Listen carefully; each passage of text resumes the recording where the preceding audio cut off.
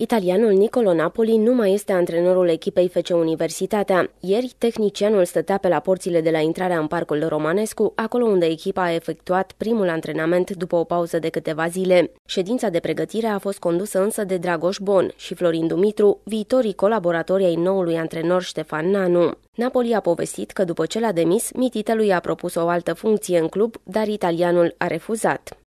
Ieri m-a a vorbit cu domnul Mititel, in birou suo, mi-a zis che voleva schimbare antrenor, mi ha proposto di altre, altre mansioni in societate, dar io gli ho spus che io sono singurul antrenor principal. Antrenorul spune că nu stătea la Craiova pentru bani și nu mai dorește să lucreze niciodată cu Mititelu. Am fost 8 luni aici fără bani, nu era, nu era problema de bani.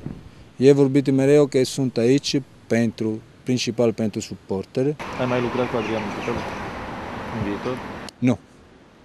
Napoli a antrenat pentru prima dată la Craiova în anul 2004. El a fost demis în mai multe rânduri de la echipă, atât de Dinel Staicu, fostul proprietar al echipei, cât și de Adrian Mititelu.